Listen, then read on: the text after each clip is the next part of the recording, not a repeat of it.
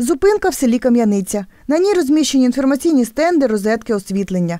Володимир Нанець працює вчителем інформатики у Кам'яницькій школі, а проживає у Невицькому. Щодня чекає тут автобус. Дуже корисна зупинка.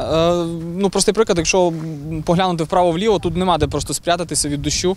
І е, ЖД полотно, і автобусна зупинка, а спрятатися десь у якийсь дощ, до- день, або коли сніг зараз спортиться погода, взагалі буде тут проблематично якийсь транспорт зловити.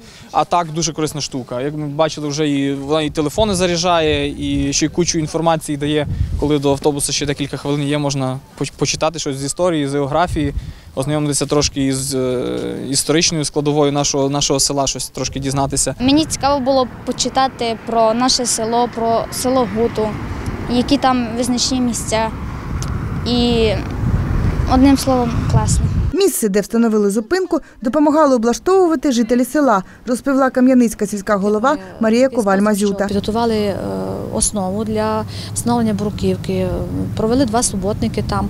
І вдячна людям, які прийшли на суботник, попрацювали, залучали техніку, тому що територія була дуже занедбана і потребувала як і роботи техніки, так і людських рук. Ми би хотіли цей інформаційний блок, який в ньому є, щоб він оновлювався, де би була інформація про всі наші заклади, які є на території, можливо, не тільки Кам'яниці, і сусідніх сіл, і району, щоб це було справді так, щоб для туриста була інформація, яка є йому корисна. Працювали над проєктом туристичні інформаційні зупинки в селищі Середнє та селі Кам'яниця Ужгородського району три місяці, розповіла директорка комунального підприємства Ужгородське районне агентство розвитку Рената Манайло-Приходько. Проект інформаційні туристичні інформаційні зупинки в селі Кам'яниця та СМТ Середньоужгородського району.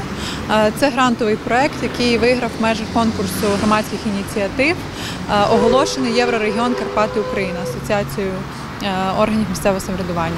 Рената Манайло-Приходько каже, на встановлення двох зупинок витратили 250 тисяч грантових коштів. 80 тисяч гривень виділили з районної та сільських рад. Оксана Ушакова, Остап Попович. Новини на Суспільному.